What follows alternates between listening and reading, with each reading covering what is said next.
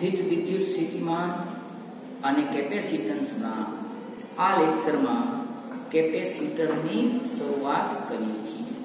Capacitor એટલે શું? ચાલો.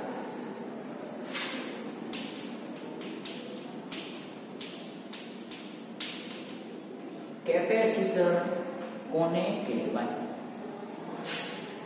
કયા ઉપકરણને, કયા સાધનને કેપેસિટર તરીકે ઓળખીએ તો એવી તમામ રચનાઓ, તમામ ઉપકરણ, તમામ સાધનો કે જે વીજ ભારનો સંગ્રહ કરી શકે તે તમામને આપણે કેપેસિટર તરીકે ઓળખીએ. તો વીજ ભાર અથવા વિદ્યુત ભાર નો સંગ્રહ કરતી રચના એટલે કેપેસિટર. ખરેખર શું કેપેસિટર છે? કઈ રીતે તે વીજભારને સંગ્રહ કરી શકે છે? એ હવે આપણે સમજીએ. તો એક વાહક ગોળો લઈ લઈએ. આ વાહક ગોળો છે. અને આ વાહક ગોળા પરનો નેટ વીજભાર શૂન્ય. નેટ વીજભાર શૂન્યનો અર્થ, આ વાહક ગોળા પાસે જેટલા ધન વીજભાર હશે, એટલા ઋણ વીજભાર ધન અને ઉપરી ભાર મૂલ્યની દ્રષ્ટિએ સમાન હોવાથી તેનો પરિણામી વિદ્યુત ભાર શૂન્ય ગણાય. પરિણામે તેની આસપાસના કોઈ પણ બિંદુ પાસે વિદ્યુત ક્ષેત્રની તીવ્રતા શૂન્ય. અને પરિણામે તેના આસપાસના કોઈ પણ બિંદુએ વિદ્યુત સ્થિતિમાનનું મૂલ્ય શૂન્ય હશે.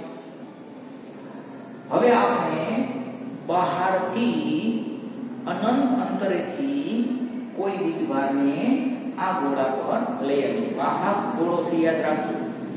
અને વાહક ગોળો હોવાથી તેના પર જેટલો વીજભાર મૂકવામાં આવે, તે બધો જ વીજભાર આ ગોળાની સપાટી પર ગોઠવાશે. વીજભારોનું પૃષ્ઠ વિતરણ તૈયાર. તો અનંત અંતરેથી એ અનંત વીજભારને આપણે આ વાહક ગોળા પર લઈ આવીએ છીએ.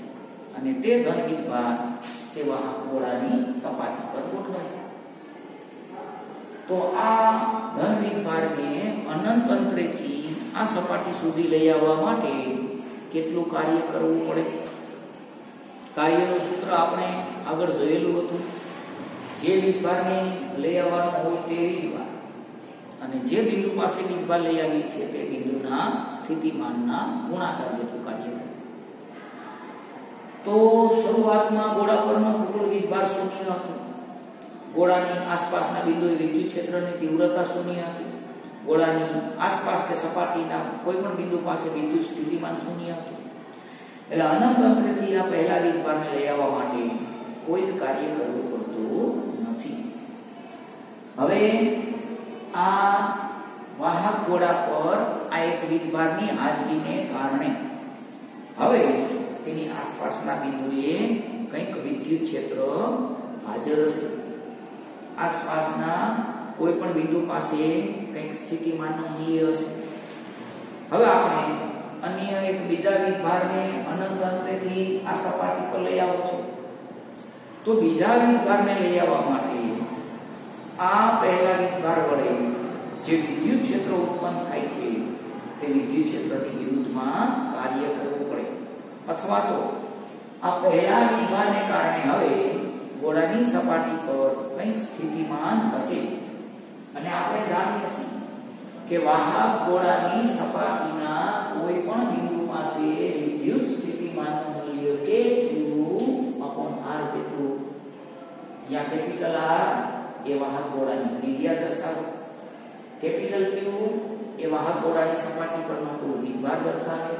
અને k સમપ્રમાણતા અચળાંક છે k ના સ્થાને 1.4π0 લખી શકાય તો હવે વાહક ગોળાની સપાટી પરના કોઈ પણ બિંદુએ અત્યારે આટલું વિદ્યુત સ્થિતિમાન છે આ સ્થિતિમાં હવે અનંત અંતરેથી આપણે બીજો એક વીજભાર લઈ આવીએ છીએ અને બીજા વીજભારને લઈ આવીને સપાટી પર મૂકીએ તો આ બીજા વીજભારને લઈ આવવા કેટલું કાર્ય કરવું પડશે જે વીજભારને લઈ આવીએ છીએ તે વીજભાર અને સપાટી પરના આ સ્થિતિમાનનો ગુણાકાર એટલે બીજા વીજભારને અનંત અંતરેથી ગોળા પર લઈ આવવા માટે ગોળા પરના પહેલા વિદ્યુત ભાર વડે જે વિદ્યુત ક્ષેત્ર ઉત્પન્ન થાય છે, તે વિદ્યુત ક્ષેત્રની વિરુદ્ધમાં કાર્ય કરવું પડે. અને બીજા વીજભારને લઈ આવવા જે કાર્ય કરવું પડે છે, તે વિદ્યુત ક્ષેત્રની વિરુદ્ધ વિદ્યુત ક્ષેત્ર સંરક્ષી રાશિ છે. આ સંરક્ષી ક્ષેત્ર છે. પરિણામે બીજા વીજભારને લઈ આવવા માટે આપણે જે કાર્ય કરીશું, તે બધું જ કાર્ય ઉર્જામાં રૂપાંતર થશે. જેને આ વીજભારોના તંત્રની સ્થિતિ ઊર્જા તરીકે આપણે ઓળખીએ છીએ. તો બીજા વીજભારને લઈ આવવા માટે કરવું પડતું કાર્ય એ આ વીજભારોના તંત્રની સ્થિતિ ઊર્જા ગણાય. ચાલો, હવે બીજો વીજભાર લઈ આવવાથી શું થશે? ગોળાની સપાટી પર વીજભારોમાં વધારો. ગોળાની આસપાસ વિદ્યુત ક્ષેત્રની તીવ્રતા વધશે. વિદ્યુત ક્ષેત્ર વધુ પ્રબળ બનશે. એટલે આ ગોળાની આસપાસ અને સપાટી પરના બિંદુએ વિદ્યુત સ્થિતિમાનના મૂલ્યમાં વધારો થશે. Q નું મૂલ્ય જેમ વધતું જાય છે, તેમ વિદ્યુત સ્થિતિમાન પણ વધતું જશે. અને સપાટી પરના વિદ્યુત ક્ષેત્રની વાત કરીએ તો 1/4 એપ્સિલોન 0 Q r કે અચળાંક છે. કેપિટલ R ત્રિજ્યા છે.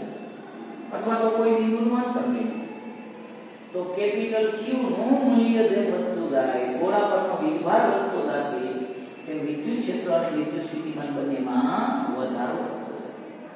હવે મારે અનંત અંતરેથી ત્રીજા વિભારને લઈ આવવો છે.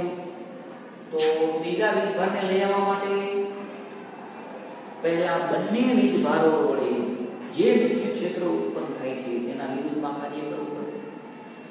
તો ત્રીજા વીજભારને લઈ આવવા માટે બંને વીજભારના વિદ્યુત ક્ષેત્રની વિરુદ્ધમાં જે કાર્ય કરીએ, તે કાર્ય ત્યાં ઊર્જા રૂપે સંગ્રહ પામે. પરિણામે આ તંત્રની સ્થિતિ ઊર્જા વધતી જશે. તો જેમ જેમ આપણે ગોળાની સપાટી પર વિદ્યુત ભાર વધારતા જેમ જેમ ગોળાની સપાટી પર આખીનું મૂલ્ય વધતું ગયું તેમ તેમ આ ગોળાનું વિદ્યુત ક્ષેત્ર અને સ્થિતિમાનમાં વધારો થતો રહેશે. અને તેમ તેમ અનંત અંતરેથી જે વિદ્વારોને લઈ આવીએ છીએ, તે વિદ્વારોને લઈ આવવા માટે આપણે કરવું પડતું કાર્ય પણ વધતું જશે. અને એ જ કાર્ય અહીંયા ઊર્જા રૂપે સંગ્રહ થાય છે. એટલે વધુ ને વધુ વીજભારોને આપણે અનંત તંત્રથી લઈ આવતા જઈશું. તેમ તેમ આ તંત્રની સ્થિતિ ઉર્જામાં વધારો થતો અને જે વિદ્વારો આપણે અનંત તંત્રથી લઈ આવીએ છીએ, તે બધા જ વિદ્વારો આ ગોળાની સપાટી પર સ્થિર સ્થિતિમાં ગોઠવાતા હોય છે. યાદ રાખવાનું, વાહક ગોળો હોવાથી એના અંદરના કોઈ પણ બિંદુએ વીજભારની ગોઠવણી શક્ય નથી.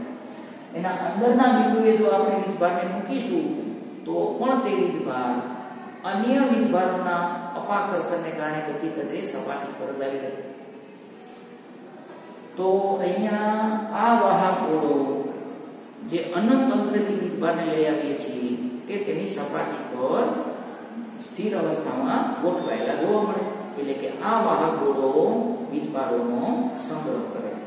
પરિણામે વીજભારોના સંગ્રહ કરતો આ જે વાહક ગોળો છે તે વાહક ગોળાને આપણે કેપેસિટર તરીકે ઓળખી શકીએ. કેપેસિટરની વ્યાખ્યા શું જે રચના વીજભારનો સંગ્રહ કરી શકે વીજભારને સ્ટોર કરી શકે વીજભારને સાચવી શકે, તે તમામ રચનાને કેપેસિટર કહેવાય. તો વાહક ગોળા પાસે કોઈ વીજભાર શરૂઆતમાં તો હતા. અનંત અંતરેથી આપણે વીજભારને લઈ આવીએ છીએ, સપાટી પર મૂકીએ છીએ. અને તે વીજભાર સપાટી પરના તે બિંદુએ સ્થિર સ્થિતિમાં ગોઠવાય છે. એટલે આ ગોળો અનંત અંતરથી લઈ આવેલા વીજભારોને સાચવી રાખે છે સ્ટોર કરે છે, સંગ્રહ કરે છે, પરિણામે તેને કેપેસિટર કહી શકાય. તો અનંત અંતરેથી વીજભારો આપણે લઈ આવતા જઈએ. આ ગોળાની સપાટી પર વિદ્યુત ભારોની સંખ્યા વધતી જાય. વીજભારમાં વધારો થવાથી ગોળાની સપાટી પર વિદ્યુત ક્ષેત્રની તીવ્રતા વધતી જશે. તેની સપાટી પરના વિદ્યુત સ્થિતિમાનમાં વધારો થતો જશે. પરિણામે નવા નવા વિદ્યુતભારને લઈ આવવાનું કાર્ય પણ વધતું જશે. અને આ તંત્રની સ્થિતિ ઉર્જામાં વધારો થતો. ક્યાં સુધી આ ગોળો વીજભારોનો સંગ્રહ કરી શકે? અહીંયા આપણને એવો પ્રશ્ન થાય કે જે વીજભારો અનંતંત્રથી લઈ આવીએ છીએ આ ગોળાની સપાટી પર મૂકીએ છીએ તે વીજભારો સપાટી પર સ્થિર અવસ્થામાં ગોઠવાય છે. તો કેમ એ ગોળાની સપાટીથી દૂર તરફ હવામાં નહીં જતા રહેતા હોય? તો વીજભારની ગતિ ક્યાં શક્ય બને? વાહકમાં જ વીજભારની ગતિ શક્ય બને. ગોળો શું વાહક છે? જ્યારે આસપાસ જે હવા છે તે અવાહક છે. અને હવા અવાહક હોવાથી આ વીજભારોની ગતિ હવામાં શક્ય પરિણામે જેટલા વિભાર આપણે અહીંયા વાહક ગોળાને આપીએ છીએ, તે બધા જ વિભારો સપાટી પર ગોઠવાશે. અવાહક માધ્યમ છે. હવા પરિણામે ત્યાં વિભારની ગતિ શક્ય નથી. એટલે વીજભાર ગોળાની સપાટી પરથી હવામાં ગતિ કરીને દૂર જતો નથી. જો એની અંદરના કોઈ પણ બિંદુએ વીજભાર નથી, તો સપાટી પરના અન્ય વીજભારોનું અપાકર્ષણ તેના પર લાગે. અને વાહક ગોળો હોવાથી અંદર મૂકેલો વીજભાર તે વાહકમાં ગતિ કરીને સપાટી પાસે આવતો રહેશે અંદર તો હંમેશા માટે પરિણામી વિદ્યુત ભાર શૂન્ય જ રહેવાનો. જે વિદ્વાર ગોળ પાસે તે માત્ર ને માત્ર સપાટી હવે આપણે જો અહીંયા કોઈ એક વાહક સળિયાને જોડી લઈએ, તો તે વાહક સળિયો હોવાથી ત્યાં વીજભારની ગતિ થઈ શકે. તો જેવો આ વાહક સળિયાને આપણે જોડી દઈએ કે તરત જ આ વીજભાર જે વાહક ગોળાની સપાટી પર છે. તે સળિયામાં ગતિ કરીને સળિયા પર ગોઠવાતો રહેશે. પણ આવો કોઈ વાહક જોડેલો નથી. એટલે વીજભાર જે ગોળાને આપીએ છીએ તે ગોળાની સપાટી પર રહેવા હવે ગઈકાલના લેક્ચર છેલ્લા લેક્ચરને યાદ કરો. એમાં આપણે બે વ્યાખ્યાઓ આપેલી હતી. એક ડાય ઇલેક્ટ્રિક સ્ટ્રેન્થ અને બીજું ડાય ઇલેક્ટ્રિક સ્ટ્રેન્થ એટલે શું ડાય ઇલેક્ટ્રિક બ્રેકડાઉન તો ડાય ઇલેક્ટ્રિક બ્રેકડાઉન કોને કહેવામાં આવે છે તો અવાહક પદાર્થ પોતાનો અવાહકતાનો ગુણધર્મ ગુમાવી દે। અને સુવાહકમાં રૂપાંતર પામે તેને આપણે ડાઇલેક્ટ્રિક સ્ટ્રેન્થ કે બ્રેકડાઉન કહીએ છીએ। તો ડાઇલેક્ટ્રિક સ્ટ્રેન્થ કોને કહીએ છીએ? જે પ્રબળ વિદ્યુત ક્ષેત્રની અસર હેઠળ. અવાહક પદાર્થ. પોતાનો અવાહકતાનો ગુણધર્મ ગુમાવી દેશે અને વાહકમાં રૂપાંતર પામશે. તે પ્રબળ વિદ્યુત ક્ષેત્રને ડાઇલેક્ટ્રિક સ્ટ્રેન્થ કહેવાય હવે આ ગોળા કે જેના પર આપણે વીજભારને લઈ આવીએ છીએ, જે ગોળો વીજભારનો સંગ્રહ કરે છે, તેની આસપાસનું માધ્યમ હવા છે અને હવા અવાહક છે. એટલે કે હવા ડાઇલેક્ટ્રિક છે તેમ સમજી લઈએ. અને હવા જે અવાહક છે, તે પોતાનો અવાહકતાનો ગુણધર્મ ગુમાવી અને સુવાહકમાં રૂપાંતર પામે, તો તે હવાનું ડાઇલેક્ટ્રિક બ્રેકડાઉનની પ્રક્રિયા થાય છે તેમ કહેવાય. અને જે પ્રબળ વિદ્યુત ક્ષેત્ર આ અવાહક હવાને સુવાહકમાં રૂપાંતર કરી શકે તે પ્રબળ વિદ્યુત ક્ષેત્રને ડાઇલેક્ટ્રિક સ્ટ્રેન્થ કહેવાય તો હવા માટે આ ડાઇલેક્ટ્રિક સ્ટ્રેન્થનું મૂલ્ય છે 3 ગુણ્યા 10 ની 6 ઘાત વોલ્ટ પ્રતિ મીટર. એટલે આટલું પ્રબળ વિદ્યુત ક્ષેત્ર ત્યારે હવાનું આયનીકરણ થઈ જાય. અને હવામાં ખૂબ મોટી સંખ્યામાં ધન અને ઋણ આયનો ઉત્પન્ન થાય. પરિણામે જે અવાહક હવા છે, તે સુવાહક બની છે અને હવે આપણે એવું માની લઈએ કે અનંત અંતરેથી વીજભારો આ ગોળાની સપાટી પર મુકતા થઈએ સપાટી પર વીજભાર વધતો જશે તેમ ગોળાની સપાટી પર અને તેના આસપાસના બિંદુએ વિદ્યુત ક્ષેત્રની તીવ્રતામાં અને આ ગોળાની આસપાસનું વિદ્યુત ક્ષેત્ર આટલું બધું પ્રબળ થઈ ગયું છે. એટલે હવે આની આસપાસ જે હવા હતી અવાહક હતી કે જેમાં વીજભારની ગતિ નહોતી થઈ શકતી તે હવા આ વિદ્યુત ક્ષેત્રની અસર હેઠળ આયનીકરણ પામશે તે હવામાં હવે ધન અને ઋણ આયનો ઉત્પન્ન થશે. અને આ ગોળાની આસપાસની હવા છે, હવે સુવાહક બની જશે. અને જેવી આસપાસની હવાનું ડાઇલેક્ટ્રિક બ્રેકડાઉન થાય, આજુબાજુની હવા સુવાહક બની જાય કે તરત જ આ ગોળાની સપાટી પરનો વીજભાર હવે આ સુવાહક હવામાં ગતિ કરવા લાગશે. તો હવે જો આપણે વાહક ગોળાની સપાટી પર વીજભાર મૂકીએ, તો તે વીજભાર વાહક ગોળાની સપાટી પર સ્થિર અવસ્થામાં ન ગોઠવાતા હવામાં ગતિ કરીને દૂર થઈ જશે. જે વીજભારનું લીકેજ થઈ કહેવાય. વીજભારનું સ્ખલન થાય છે તેમ કહેવાય. હવે સપાટી પરનો વીજભાર હવામાં ગતિ કરીને દૂર જતો રહેશે. ઘોડાની સપાટી પરથી વીજભારો હવામાં જતા રહેશે. સપાટી પરથી વીજભારો ઓછા થશે. જે વીજભારોનું સ્ખલન થાય છે અથવા તો વીજભારનું લીકેજ થાય છે એમ કહેવાય. અને આવી અવસ્થામાં પહોંચી જાય પછી હવે નવા વીજભારને ત્યાં મૂકી શકાતા નથી. નવો વીજભાર મૂકીએ તો પણ તે હવે હવામાં લીકેજ થઈ જશે. હવામાંથી ગતિ કરીને દૂર જતો રહેશે. સુવાહક હવા થઈ છે એટલા માટે. અને દરેક અવાહક પદાર્થ માટે આ ડાઇલેક્ટ્રિક સ્ટ્રેન્થનું મૂલ્ય અલગ અલગ હોય છે. આ મૂલ્ય હવા માટે ડાઇલેક્ટ્રિક સ્ટ્રેન્થ દર્શાવે છે. યાદ રાખજો. તો હવે આ અવસ્થામાં પહોંચી જાય પછી આ ગોળાની સપાટી પર નવા વીજભારો મૂકી શકાતા નથી. એટલે આ ગોળાની વીજભારને સંગ્રહ કરવાની ક્ષમતા પૂરી થઈ ગઈ છે.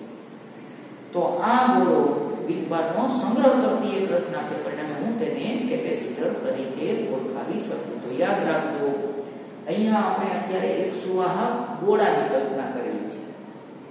આ સુવાહક ગોળાના સ્થાને હું કોઈ પણ ધાતુમાંથી બનેલા કોઈ પણ આકારના વાહકનો પણ વિચાર કરી શકું. તો કોઈ પણ ધાતુમાંથી બનેલું કોઈ પણ આકારનો વાહક જે વીજભારનો સંગ્રહ કરી શકે તે દરેકને કેપેસિટર તરીકે ઓળખાય. અને તે દરેક વાહક ત્યાં સુધી વીજભારનો સંગ્રહ કરી શકે? જ્યાં સુધી તેની આસપાસની હવાનું આયનીકરણ ન થઈ જાય, ત્યાં સુધી. તેની આસપાસની હવાનું વિદ્યુત ક્ષેત્ર ખૂબ જ પ્રબળ ન થાય.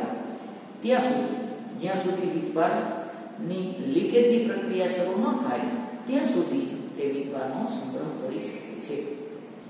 અને હવે નવો વીજભાર ઉઠીએ, તો તે હવામાં લીકેજ થઈ જાય છે. એટલે નવા વીજભારને મૂકી શકાતો નથી. સંગ્રહ કરવાની તેની કેપેસિટી પૂરી. અને યાદ રાખો કેપેસિટર જે વીજભારનો સંગ્રહ કરી શકે તેની ક્ષમતા, એની કેપેસિટીને કેપેસિટન્સ તરીકે ઓળખાય છે. તો કેપેસિટન્સ એટલે શું? આપેલા કેપેસિટરની વીજભારને સંગ્રહ કરવાની ક્ષમતા, એની કેપેસિટીને કેપેસિટન્સ કહેવાય. તો કેપેસિટર એ એક સાધન છે. અને તે સાધનની વિદ્યુત ભારને સંગ્રહ કરવાની જે ક્ષમતા છે, એની કેપેસિટી છે, તેને કેપેસિટન્સ તરીકે ઓળખીએ છીએ. એટલે બંને અલગ અલગ નામ છે ધ્યાન એક સાધન છે, એક એની ક્ષમતા છે. દાખલા તરીકે પાણીની ડોલ છે, તેની કેપેસિટી પાંચ લીટર પાણીને સમાવવાની છે. તો તે ડોલ એક સાધન છે. એને આપણે કેપેસિટર સમજીએ. તે કેટલું પાણી સમાવી શકે છે? પાંચ લીટર. તો એની ક્ષમતા જે પાંચ લીટરની છે, તે કેપેસિટન્સ કહેવાય. પછી એ ડોલ પાણીથી પૂરેપૂરી ભરેલી હોય, અડધી ભરેલી હોય કે ડોલ ખાલી હોય? એની કેપેસિટી તો પાંચ લીટર સમાવવાની છે, એટલે કેપેસિટન્સનું મૂલ્ય આપેલા કેપેસિટર માટે અચળ બનતું હોય. પાણીની, ડોલની કેપેસિટી પાંચ લીટરની હોય. તો એ ડોલ પાંચ લીટર પાણીને સમાવી શકે. પછી આપણે એને અડધી ભરીએ, કે ડોલને આખી ભરેલી હોય, કે ડોલ બિલકુલ ખાલી હોય, એની ક્ષમતા પાંચ લીટરની જ રહે છે. એવી રીતે કેપેસિટર એ સાધન છે.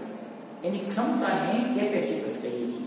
કેપેસિટર પૂરેપૂરું ચાર્જ કરેલું હોય કે અડધું ચાર્જ કરેલું હોય, એની સપાટી પર કેટલો વીજભાર છે, તેનાથી તેની ક્ષમતા એટલે કેપેસિટન્સ બદલાતું નથી. કેપેસિટન્સનું મૂલ્ય અચળ હોય છે. દાખલા તરીકે કેપેસિટરનું કેપેસિટન્સ દસ માઇક્રોફેરાડે છે.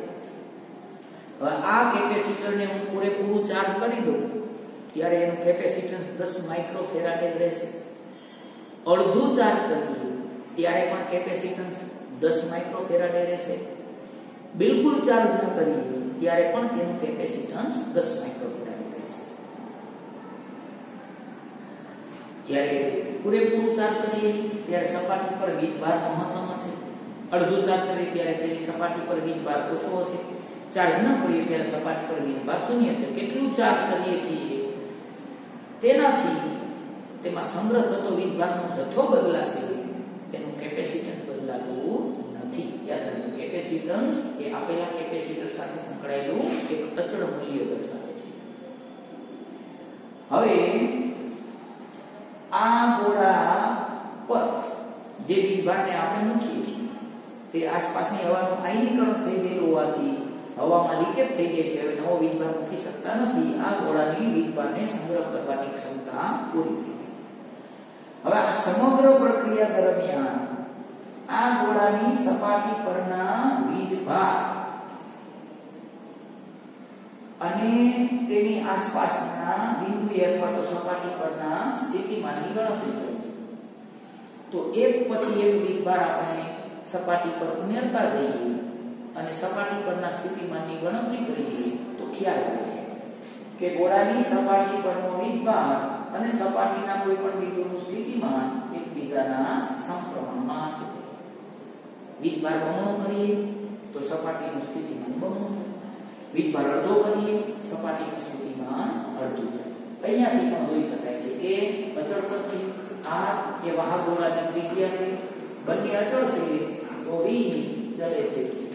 એટલે આ સમગ્ર પ્રક્રિયા દરમિયાન વાહકની સપાટી પરનો વિકાર અને વાહકની સપાટી પરના સ્થિતિમાનનું મૂલ્ય એકબીજાના સમપ્રમાણ વીજભારમાં વધારો કરવાથી સ્થિતિમાન વધે વીજભાર બમણો કરીએ સ્થિતિમાન બમણું થાય વીજભારમાં ઘટાડો કરીએ સ્થિતિમાન ઘટે વીજભાર અડધો કરીએ સ્થિતિમાન અડધું થાય તો ક્યુ અને વી સમપ્રમાણમાં હોય છે હવે આ સમપ્રમાણતાની નિશાની દૂર કરી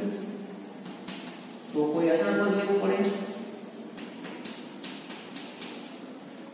અને આ જે અચળાંક છે, તે અચળાંકનું મૂલ્ય કેટલું હશે? Q b તો કોઈ પણ આ સમગ્ર પ્રક્રિયામાં કોઈ પણ સમયે ગોળાની સપાટી પરનો વીજભાર અને ગોળાની સપાટી પરના સ્થિતિમાનનો ગુણોત્તર લેવામાં આવે. તો કોઈ પણ સમયે આ ગુણોત્તરનું મૂલ્ય અચળ હશે પહેલા વિદ્વાનને લઈ આવવાથી શરૂ કરીએ?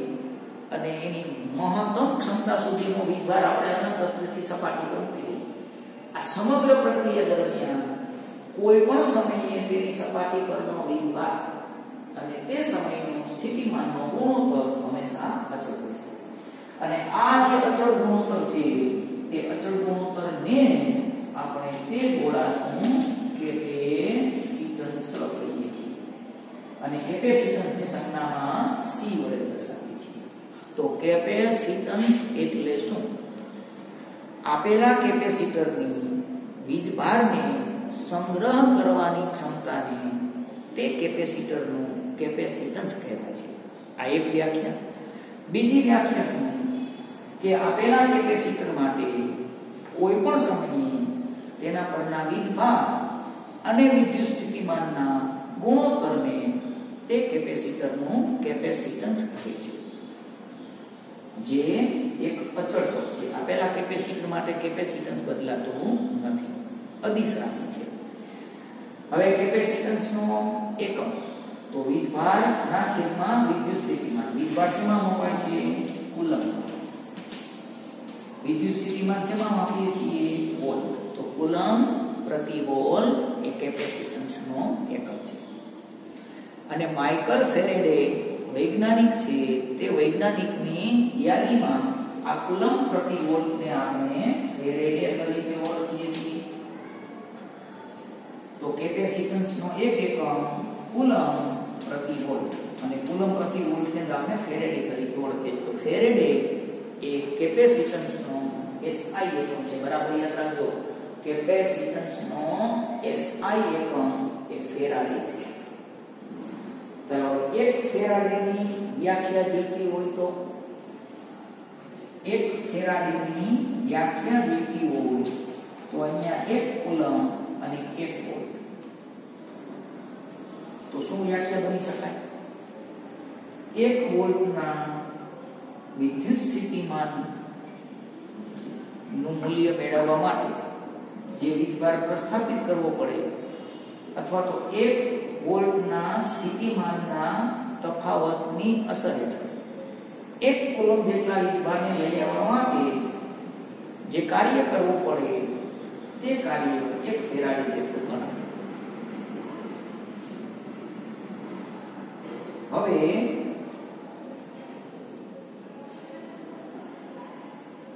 આ ફેરાડે ફેરાડે જે છે, તે ખૂબ જ મોટો એકમ છે.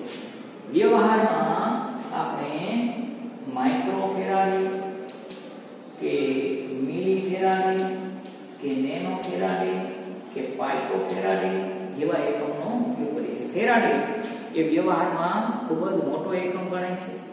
પરિણામે વ્યવહારમાં જે કેપેસિટરનો ઉપયોગ થાય છે, તેનું કેપેસિટન્સ મિલી ફેરાડે અથવા માઇક્રો ફેરાડે અથવા નેનો ફેરાડે અથવા તો પાઇકો ફેરાડે જેવા એકમમાં માપીએ છીએ. ચાલો તેના પારિમાણિક સૂત્રની વાત કરીએ. તો વીજભાર માટે એમ એલ અને વિદ્યુત સ્થિતિમાન વોલ્ટેજનું પારિમાણિક સૂત્ર 1 2 3 1 ચાલો સાદું પાકી દઈએ તો કેપેસિટન્સનું પારિમાણિક સૂત્ર એમ -1 L -2 T4 A2 અથવા તો -1 -2 2 આ બંને કેપેસિટન્સના પારિમાણિક સૂત્રો છે આ વીજભારના સ્વરૂપમાં આ એમ્પિયરના સ્વરૂપમાં યાદ રાખવા માટે 12 42 પહેલા બંને માઇનસ 12 22 પહેલા બંને માઇનસ હવે આ એક ગોળો એની વીજભારને સંગ્રહ કરવાની ક્ષમતા પૂરી થઈ ગઈ છે. હવે આપણે આ ગોળાની નજીકમાં એક બીજા વાહક ગોળાને લઈ આવીએ. બીજા વાહક ગોળાને લઈ આવીએ. ચાલો, એની નજીકમાં એટલી જ ત્રિજ્યાનું એવા જ આકારનું અન્ય એક વાહકને રાખીએ જેની પાસે કોઈ વીજભાર છે નહીં. આપણે જે વીજભાર આપેલો છે એ તો પહેલા ગોળાને. આ બીજા અન્ય ગોળાને બાજુમાં લઈ આવે છે, તેને આપણે કોઈ વીજભાર આપેલો નથી. તે વીજભારની દ્રષ્ટિએ તટસ્થ જેવો આ બીજા ગોળાને આની નજીકમાં લાવીશું કે તરત આના ધન વીજભારની અસર હેઠળ આ ગોળામાં રહેલો ઋણ વીજભાર અહીંયા નજીકમાં ગતિ કરીને ગોઠવાશે અને આ ધન વીજભારના અપાકર્ષણની અસર હેઠળ આમાં વીજભાર અહીંયા પ્રેરિત થાય છે હજી પણ આની પાસે જેટલા ધન એટલા ઋણ વીજભાર છે એટલે આ બીજો વાહક બળો હજી પણ વીજભારની દ્રષ્ટિએ તટસ્થ છે હવે આ બીજા વાહક ગોળાને અહીંયા વાહક તાર જોડીને અર્થિંગ કરી દઈએ તો અર્થિંગ કરવાથી શું થશે ગતિ ઋણ વીજભારની થઈ હતા.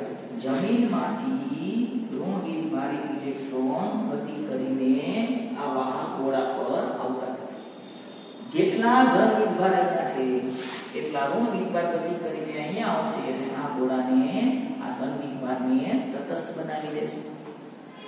તો અર્થિંગ પછી આ ગોળો હવે ઋણ વીજભારિત બને અને આ ગોળા પરના ઋણ ભારનું મૂલ્ય કેટલું હશે?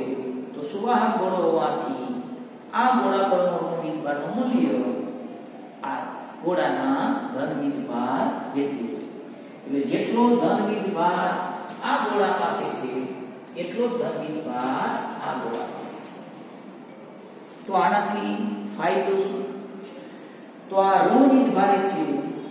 પરિણામે આ ગોળામાંથી જે વિદ્યુત ક્ષેત્ર રેખાઓ આસપાસની હવામાં તેમાંથી મોટા ભાગની ક્ષેત્ર રેખાઓ હવે આ ઋણ વીજભારને કારણે આ ગોળામાં સમાઈ જશે. એટલે આપણે એવું કહી શકીએ કે આ બીજા વાહકને મૂકવાથી આસપાસના વિદ્યુત ક્ષેત્રની તીવ્રતામાં ઘટાડો થાય. અને આસપાસના બિંદુએ વિદ્યુત સ્થિતિમાનમાં પણ ઘટાડો થાય છે. તો એનાથી શું ફાયદો? તો પહેલા ગોળાની હાજરી હતી. ત્યારે તેની આસપાસનું વિદ્યુત ક્ષેત્ર એટલું બધું પ્રબળ બની જાય છે કે જે હવાનું આયનીકરણ કરી નાખે છે. અવાહક જે હવા હતી એને સુવાહકમાં રૂપાંતર કરી નાખે છે. અને પરિણામે માત્ર પહેલા ગોળાની હાજરી હોય, ત્યારે વીજભાર હવે હવામાં લીકેજ થઈ જાય છે. નવો વીજભાર મૂકી શકાતો, નથી. એની ક્ષમતા પૂરી થઈ ગઈ. પણ આ બીજા વાહક ગોળાને કારણે બીજા વાહક ગોળામાં જે ઋણ વીજભાર ઉત્પન્ન થાય છે એને કારણે એ તંત્રનું આસપાસનું વિદ્યુત ક્ષેત્રની તીવ્રતા ઘટી જાય છે. આસપાસના બિંદુએ વિદ્યુત સ્થિતિમાનમાં ઘટાડો થઈ જાય છે. કેવી રીતે? તો ધન ગોળાનું સ્થિતિમાન ધન અને ઋણ માટે ઋણ તો પરિણામે સ્થિતિમાન બંનેની બાદબાકી ઘટી જાય. આનું સ્થિતિમાન ધન મળે, આનું સ્થિતિમાન ઋણ અને જેવો આ બીજો વાહક ગોળો લઈ આવીએ કે તરત જ આનું વિદ્યુત ક્ષેત્ર રેખાઓ આમાં સમાઈ જશે. એટલે આની આસપાસ વિદ્યુત ક્ષેત્રની તીવ્રતા ઘટી જશે. અને વિદ્યુત ક્ષેત્રની તીવ્રતા ઘટી જાય તો આસપાસની હવાનું જે આયનીકરણ થયેલું હતું, એ આયનીકરણની પ્રક્રિયા હવે થતી નથી. એટલે હવા જે અવાહક હતી અને સુવાહક બની રહી છે તે હવા હવે સુવાહક બનતી નથી. હજી હવા અવાહક જ રહેશે તો હવે જે વીજભાર ગોળાની સપાટી પરથી હવામાં લીકેજ થઈ જતો હતો, તે લીકેજ થવાનું બંધ થઈ જશે. હવે ફરીથી હું આ ગોળાની સપાટી પરનો વીજભાર વધારતો અને યાદ રાખજો, આપણે જે વીજભાર વધારીએ છીએ તે ધન ગોળાના વીજભારને જ વધારીએ છીએ. પણ સાથે સાથે આ પ્રેરણને કારણે અહીંયા પણ વીજભાર વધતો જશે અને દરેક પરિસ્થિતિમાં અહીંયા આપણે જેટલો ધન વીજભાર મૂકીશું, એટલો ઋણ ભાર અહીંયા પ્રેરિત થશે.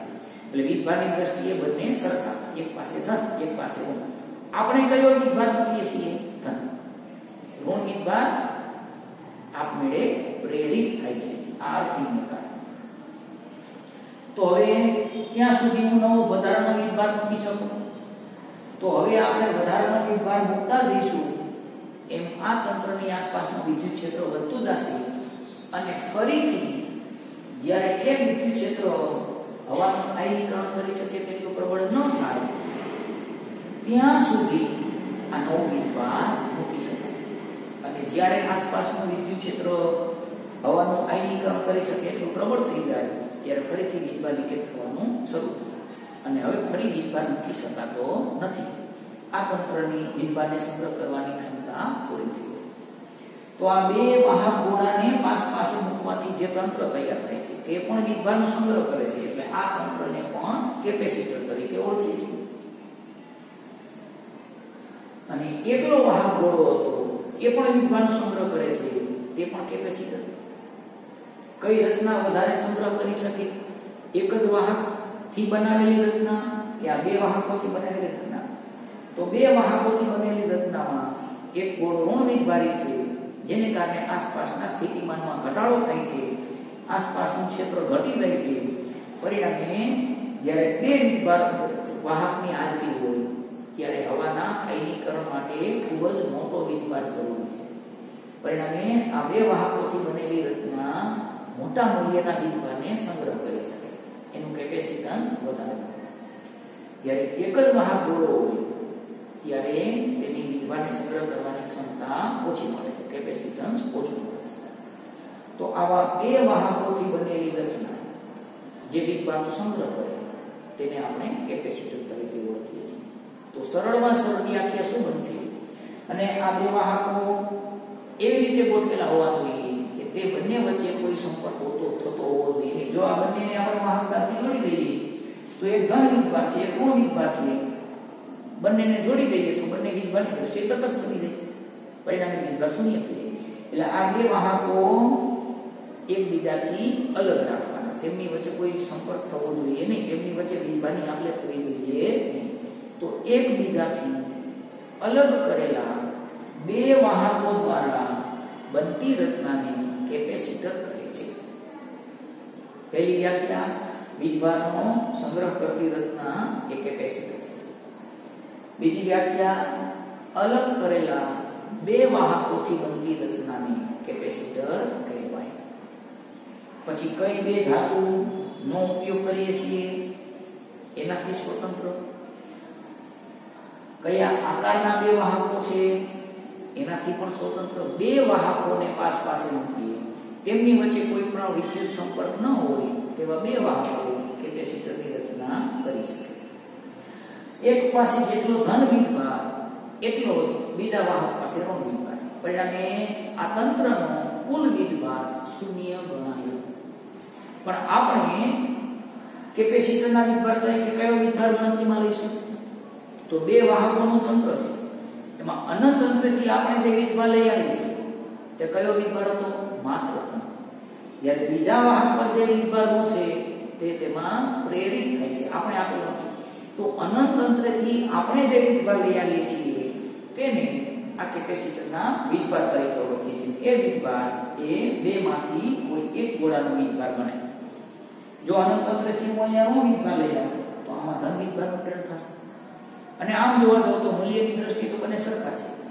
તો કોઈ પણ એક વાહકના વીજભારની કેપેસિટરના વીજભાર તરીકે આપણે ગણતરીમાં લઈએ છીએ. જ્યારે કેપેસિટરમાં જે બે વાહક છે, બંને સમાન મૂલ્યના વિજાતીય વીજભાર ધરાવે છે, એટલે તંત્રનો કુલ વીજભાર તો શૂન્ય થાય છે. પણ ગણતરીમાં આપણે કયો વીજભાર લઈએ છીએ? બેમાંથી કોઈ પણ એક વાહક પરના વીજભારને કેપેસિટરના કુલ વીજભાર તરીકે આપણે ઉપયોગમાં લઈએ છીએ. યાદ રાખવાનું કે કોઈ પણ એક વાહક પરનો વીજભાર એ કેપેસિટરનો વીજભાર છે. અને બીજી વાત કે બંને પાસે વીજભાર છે. આપણે ક્યારે બંને વાહકને વીજભાર આપવાના હોતા નથી. કોઈ પણ એકને આપણે વીજભારિત કરશું, ત્યારે બીજા વાહકમાં બીજા કે વીજભાર આપમેળે પ્રેરિત થાય છે. કેપેસિટરની રચનામાં બે વાહક છે. બંને વીજભારિત છે. એક પાસે ધન, એક પાસે ઋણ. પણ આપણે બંનેને વીજભાર આપવાનો નથી. આપણે એકને જ વીજભાર આપવાનો છે. બીજામાં વીજભારનું પ્રેરણ થાય છે હવે આપણા અભ્યાસક્રમમાં કેપેસિટરના જુદા જુદા આકાર જોવા જોઈએ તો ઘણા બધા આકારના કેપેસિટર છે. જેમાં આપણા અભ્યાસક્રમમાં આપણે બે વાહક પ્લેટને એકબીજાની પાસ પાસે સમાંતર ગોઠવીને જે કેપેસિટર તૈયાર થાય તે કેપેસિટરનો જ અભ્યાસ કરવાનો છે. આપણા અભ્યાસક્રમમાં જે કેપેસિટર આવે છે તેમાં બે વાહક પ્લેટ છે. ધાતુ અને બે વાહક ધાતુની પ્લેટને એકબીજાને સમાંતર ગોઠવી અને કેપેસિટર તૈયાર થાય એવા કેપેસિટરનો અભ્યાસ કરીએ જેને સમાંતર પ્લેટ કેપેસિટર તરીકે ઓળખવામાં આવે છે. એટલે આ પ્રકરણમાં આપણે સમાંતર પ્લેટ કેપેસિટરની જ વાત કરીશું. હવે કેપેસિટરને દર્શાવવા માટે એક આ છે અને એક આ છે. ચાલો આ બંનેમાં શું તફાવત તો આ સંજ્ઞા એ અચળ મૂલ્ય ધરાવતા કેપેસિટરને રજૂ કરે છે જ્યારે આ સંજ્ઞા એ ચલ કેપેસિટરને રજૂ કરે છે આ સંજ્ઞા હોય તો એનો અર્થ કે આ કેપેસિટરનું મૂલ્ય અચળ હશે તે કેપેસિટન્સમાં આપણે ફેરફાર કરી શકતા નથી જ્યારે આ સંજ્ઞા દર્શાવેલી હોય તો એનો અર્થ કે તે કેપેસિટન્સમાં આપણે આપણી જરૂરિયાત પ્રમાણેના ફેરફાર કરી શકીએ છીએ જેને ચલ કેપેસિટર કહેવાય. અને આવું ચલ કેપેસિટર ક્યાં આવેલું હોય છે? તો રેડિયામાં એના જે જુદી જુદી આવૃત્તિને ટ્યુન કરવા માટે, એમાં જે ટ્યુનિંગ પરિપર છે, તેમાં ટ્યુનિંગ માટે આવા ચલ કેપેસિટરનો ઉપયોગ થાય છે. જ્યારે તમામ પ્રકારના ઇલેક્ટ્રોનિક સાધનોની જે સર્કિટ આવે છે, તે સર્કિટ જોઈએ ત્યાં આવા અચળ મૂલ્યના કેપેસિટન્સનો ઉપયોગ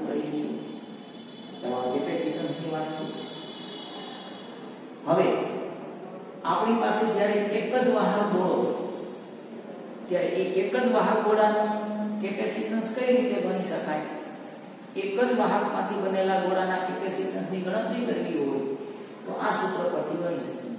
કે વાહક ગોળાની સપાટી પરનું સ્થિતિમાન 1 upon 4 pi epsilon 0 q r જ્યાં આ એ એક વાહક ગોળાની ત્રિજ્યા છે ચાલો કેપેસિટન્સ જોઈતું હોય તો q અને v નો ગુણોત્તર જોશે તો આમાંથી q અને v નો ગુણોત્તર કરતા બનાવી લઈએ તો q upon v બરાબર 4 pi epsilon 0 r તો 4 pi epsilon 0 r એ q upon v દર્શાવે છે q upon v એટલે કેપેસિટન્સ તો કેપિટલ R ત્રિજ્યા ધરાવતા વાહક ગોળાનું કેપેસિટન્સ કેટલું 4 pi epsilon 0 r અને આ ના આધારે એક પ્રશ્ન પૂછેલો છે કે પૃથ્વીને એક કેપેસિટર તરીકે લેવામાં આવે.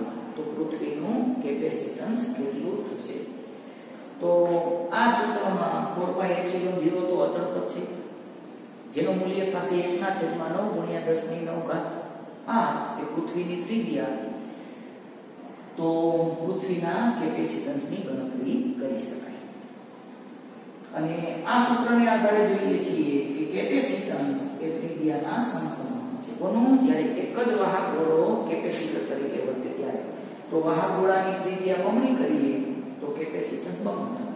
ત્રિજ્યા અડધી કરીએ કેપેસિટન્સ અડધું થાય. તો હવે આ સૂત્ર વાહક ગોળાના કેપેસિટન્સનું સૂત્ર છે, એ આપણા માટે અગત્યનું છે. હવે આ કેપેસિટરની વાત અને સમાંતર પ્લેટ કેપેસિટરના કેપેસિટન્સની કઈ રીતે ગણતરી કરી શકાય? શેના પર આધારિત છે તે આના પછીના લેક્ચરમાં ચર્ચા કરીશું. અહીંયા આજનો લેક્ચર પૂરો